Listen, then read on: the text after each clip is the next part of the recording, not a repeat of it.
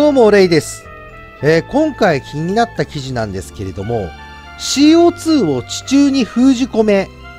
国内で初成功、苫小牧の海底下にという記事について、ちょっと考えたことをお話ししていきたいと思います。まあ、この記事簡単に言ってしまうと、CO2 のこの排出ガスを、えー、っとね、30万トンこれを地中に圧縮して埋め込むっていうね、実験に成功したっていう記事なんですよね。で、この試験をね、委託したのが経済産業省なんですよね。で、今回の成功を受けて、実用化に向けてね、検討を始めてるそうです。まあ、この施設なんですけれども、ちょうどね、隣接するね、出光興産の北海道製油所ここの排出ガスをパイプで引き込んで、ガスの約半分を占める CO2 だけを取り出すっていう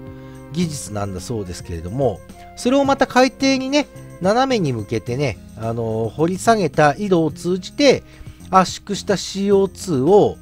海底下の深さ1100から1200メートルと2400メートルから3000メートルに送り込んで封じ込めたっていう記事なんですよね。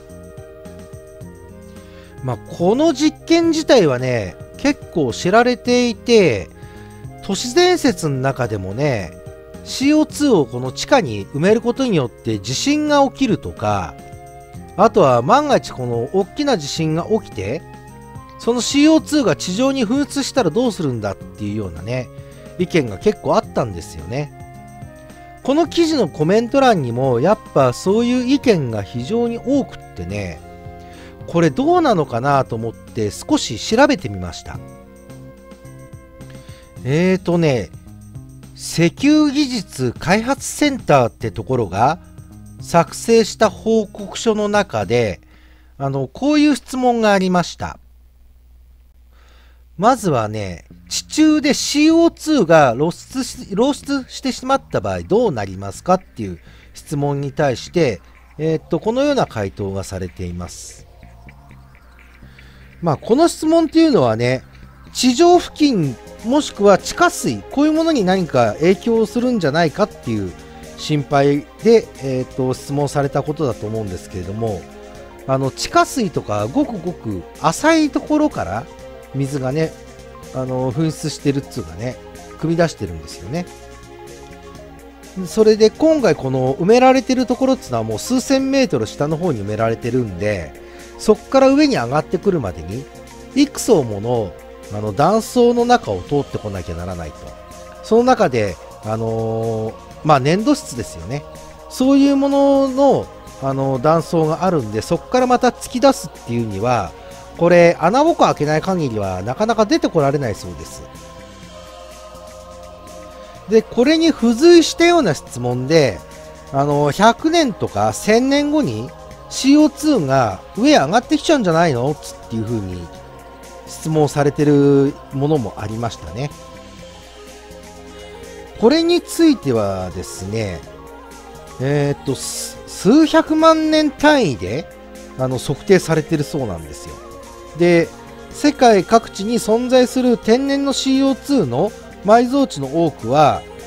えー、っと、数千万年の間、安定性を保ち移動していませんっていうことなんですよね。まあ、ここで最も危険じゃないのかなって思うのは、あの、パイプからもしもう CO2 が噴き出しちゃったらちょっとこれまずいんじゃないのっていう意見がやっぱあったんですけれども、これは確かに、あの、CO2 っていうのは重たいものだから、大気のね、上に行かずに、下へね、どんどんどんどん蓄積していく、そういう性質を持っているんですけれども、これについてもね、パイプ自体に、あの、かなりの圧力がかかっているから、万が一その圧力が下がるっていうようなことがあった場合には、即時に警報通貨がね、鳴るような形になってるようですね。要は、細かく監視されてるんで、あの、即座に、あのー、対応ができるっていうような形でね、あの回答が書いてありました。まあ、この報告書にね、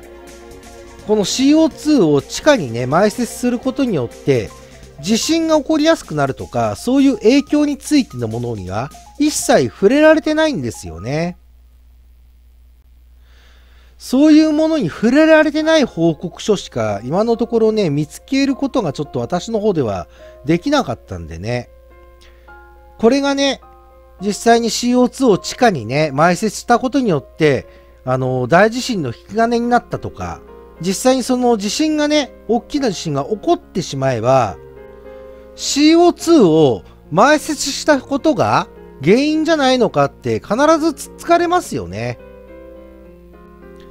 こういうね、不安の声があるっていうことは、政府はよくよく聞いて、この地震の関係性についてもきっちりと示す必要があるんじゃないかなって思うんですよ。そうでないとね、真実味を帯びたような都市伝説まがいな話が次から次へと出てくるんじゃないですかね。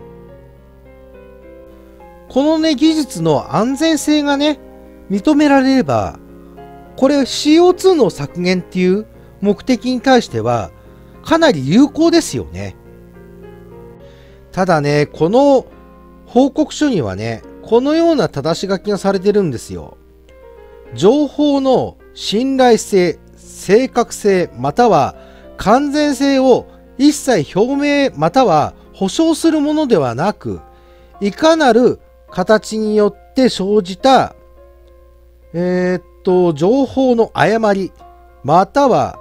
情報の欠如に関しても一切責任を負いませんって書いてあるんですよね。この記述を見ちゃうとね、どうなんだろう大丈夫なんだろうっていう風に不安になりませんかねかといって、この CO2 をね、酸素と炭素にね、分離させるっていうね、その技術自体、なんか理論的にはできるそうなんですけれども、かなりなね、あのエネルギーが必要になるそうなんです。万が一これが低エネルギーでできたとしたら、ノーベル賞多分取れるっていうふうに言われてるらしいんですよね。そうするとね、やはり現実味を帯びたね、CO2 を地下に埋設させて、これで、安全ですよ、大丈夫ですよっていうようなね、証明をね、やはり保証っていう形でね、できなければ、ちょっとこの技術をね、みんなが納得して、ああ、やりましょうっていうふうにはちょっとなってかないような気がするんですよね。えー、皆さんはね、どのように感じたでしょうか？えー、今回はこれで終わりにしたいと思います。どうもありがとうございました。